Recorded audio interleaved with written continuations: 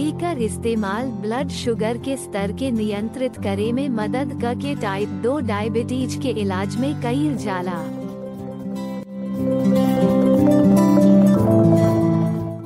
Metformin liver से पैदा होखे वाला ग्लूकोज के मात्रा के कम क के अवुरी शरीर के इंसुलिन के प्रति संवेदनशीलता बढ़ावे के काम करेला।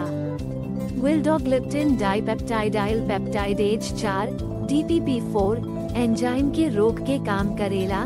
जवना के चलते इंसुलिन के स्राव बढ़ जाला, अवुरी ग्लूकोज के उत्पादन में कमी आवला।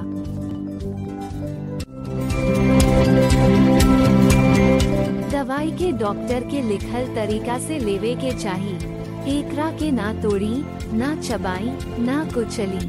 एकरा के खाना के सगे लेवे के चाही। धन्यवाद।